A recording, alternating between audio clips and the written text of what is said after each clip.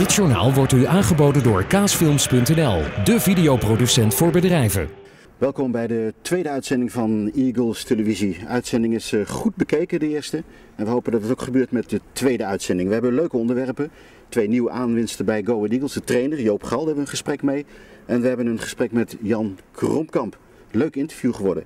En verder manager commerciële zaken van Go Ahead Eagles Adrie Proper. Ook daar hebben wij een gesprek mee. Blijf zeker kijken naar Eagles TV.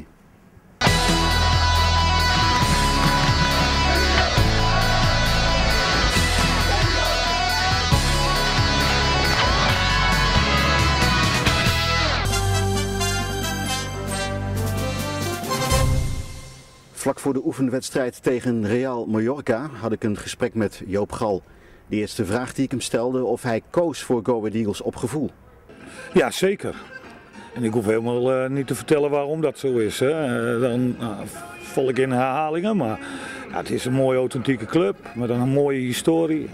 Een hele mooie stadion vind ik, midden in de woonwijk. Dat doet me weer denken aan mijn oude actieve voetbalcarrière in de Oosterparkwijk voor FC Groningen. En ze willen hier nooit weer weg. Een prachtig veld, een mooie groep. Dus wat kan een, een trainer, coach nog meer wensen? Wat zijn nou de doelstellingen voor het seizoen 2011-2012? Nou ja, er zijn uh, op de dag van vandaag nog wel wat mutaties geweest. Dus, uh, en daar hebben we getracht om uh, dat allemaal weer in te vullen. Um, je wilt uh, vorig seizoen, als je dat een nullijn mag noemen, hè, de, de, de sterkte van de, van de selectie, wil, de ambitie van de club is om beter te worden. Nou, er zijn toch wel een groot aantal basisspelers vertrokken. We hebben er wat voor teruggehaald, maar we hebben ook een beetje pech gehad.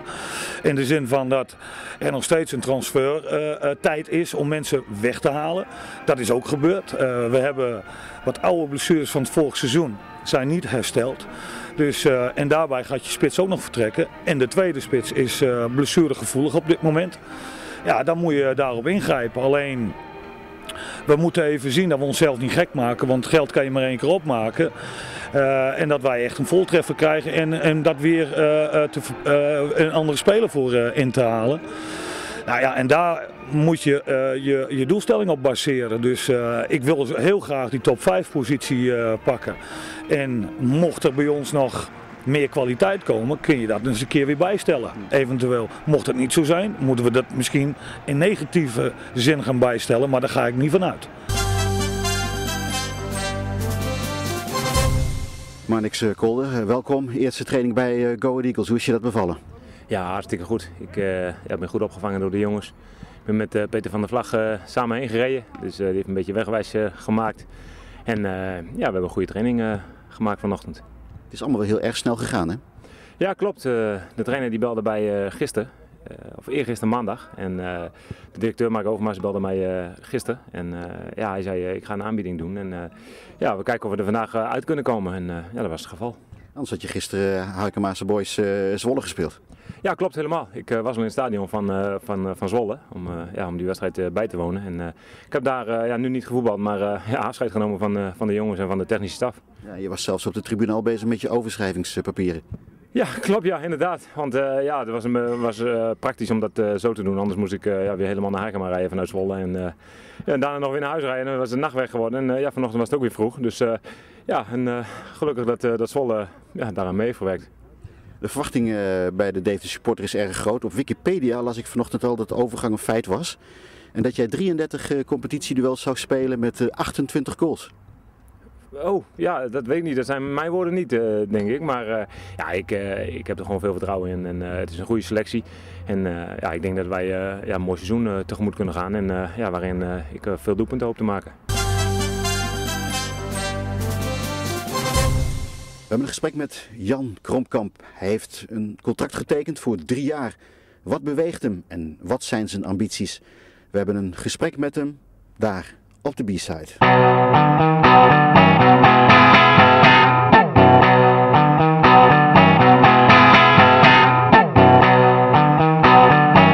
Jan Kromkamp, nou welkom hier op de B-side.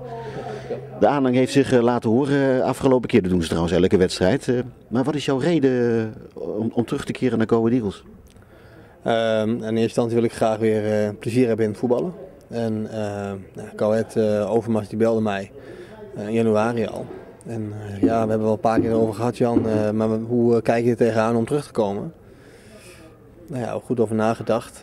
alle voor- en nadelen. En nou, toen had ik toch zoiets van, laat ik dat gewoon gaan doen. Samen in combinatie met trainingsopleiding doe ik erbij. En ja, om zo toch, toch te kijken of ik nog wat van mijn carrière kan maken. En hopelijk Go Ahead kan helpen om, om, omhoog te, om, om omhoog te gaan kijken. wat is omhoog kijken? Ja, in de Eredivisie. Nou ja, hoogtepunt. Uh, uh, twee keer kampioen geworden met PSV. Uh, FA Cup gewonnen met Liverpool. Uh, Nederlands elftal gehaald. Ver gekomen in de UEFA Cup. Champions League gespeeld. Ja, eigenlijk bijna alles gehaald wat je kan halen.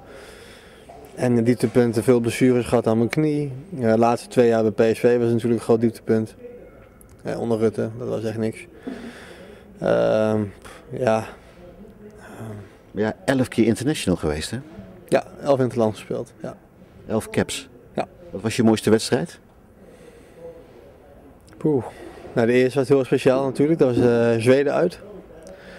Um, en um, ja, de andere wedstrijd die me eigenlijk het meest bij, bij is gebleven is Roemenië uit. Die wonnen we toen, speelden we goed. En toen maakten we echt een grote stap om uh, ons te kwalificeren toen voor de WK. Dus dat was wel een van de mooiste in het land, denk ik. Even terug naar uh, Go Ahead Eagles. Um, je hebt al gezegd uh, omhoog kijken, eredivisie halen. Nou, je hebt gekeken met wat voor een ploeg je nu speelt. Er is ook een nieuwe trainer, Joop Gral. Wat is jouw eerste indruk? Ja, positief. Um, ja, de, de, trainer Joop Gral is gewoon uh, een goede trainer, heeft een goede groep van gemaakt. Jongens zijn goed onder elkaar. We zijn echt een groep, we gaan dan voor elkaar door het vuur. En, en er zit zeker muziek in.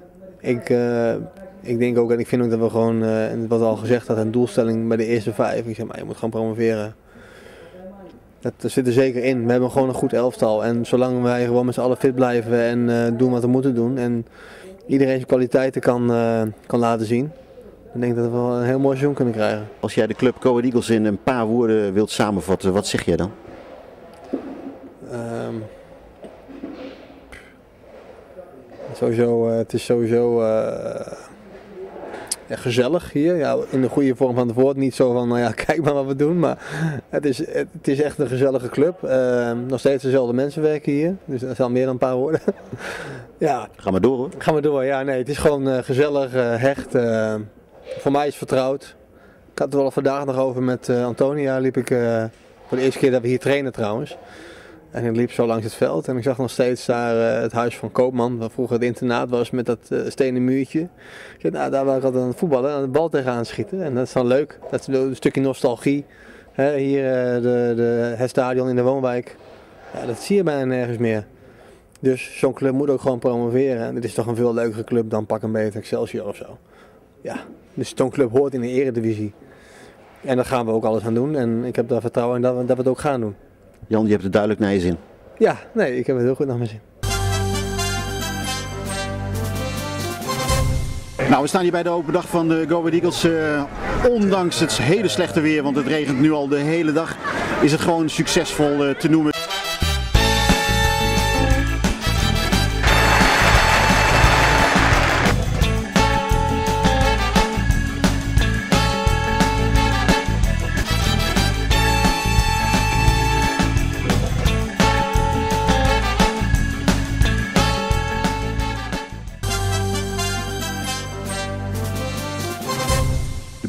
Heeft een complete metamorfose ondergaan.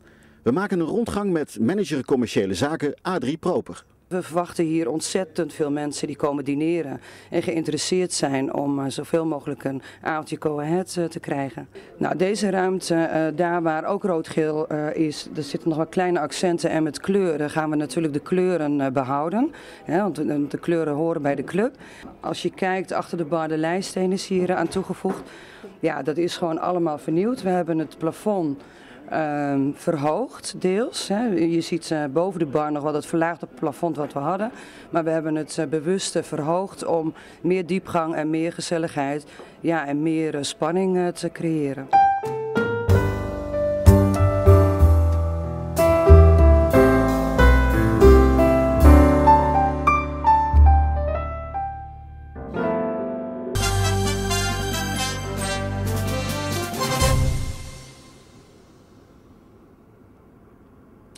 In de rij voor de stadionkassas van Go Ahead Eagles? Dat hoeft echt niet. Wie nu een seizoenkaart koopt, is het hele seizoen verzekerd van een vaste plaats. Seizoenkaarten zijn nog steeds te koop op de administratie van Go Ahead Eagles. Voor informatie kunt u de website van de club raadplegen. De kaartverkoop voor Go Ahead Eagles tegen Telstar op vrijdag 5 augustus loopt volop. Kaarten zijn verkrijgbaar bij alle verkooppunten van Primera Ticketbox en op de wedstrijddag vanaf 7 uur aan de stadionkassa. Er geldt vrije kaartverkoop, dus een clubkaart is niet nodig. De kaartverkoop voor Go Ahead Eagles Helmond Sport op 19 augustus begint op zaterdag 6 augustus via Primera Ticketbox. Ook in het komende seizoen kunt u op vertoon van uw seizoenkaart gratis met alle Sintusbussen mee naar de wedstrijden van Go Ahead Eagles. Deze service geldt voor alle Sintusverbindingen in Deventer, maar ook kunt u gratis naar de Adelaarshorst met Sintusbussen vanuit andere plaatsen in Overijssel en Gelderland. Vanaf drie uur voor de wedstrijd kunt u gebruik maken van deze service. Wie met de auto naar het stadion reist, maken wij erop patent dat de politie ook dit seizoen zal optreden tegen foutparkeerders in de omgeving van het stadion. Voorkom een bekeuring en maak gebruik van de parkeervoorzieningen in de nabije omgeving van het stadion. Of beter nog, pak de gratis Sintusbus.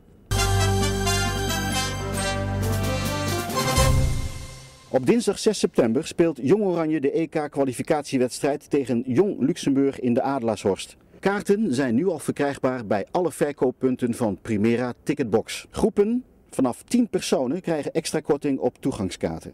Voor informatie kunt u contact opnemen met de administratie van Go Ahead Eagles. U heeft gekeken naar een uitzending van Eagles Televisie. Heeft u suggesties voor het programma, en dat kan ik me best voorstellen, dan kunt u dat mailen naar info.kaasfilms.nl. Bedankt voor het kijken, graag tot een volgende keer. Wilt u ook adverteren binnen het Go Ahead Eagles TV-journaal? Kijk dan op kaasfilms.nl en informeer naar de mogelijkheden. In the morning, when the moon is at its rest, you will find me the time I love best, watching rainbows played on sunlight, pools of water, ice cream, cold night. In the morning, it's the morning of my life.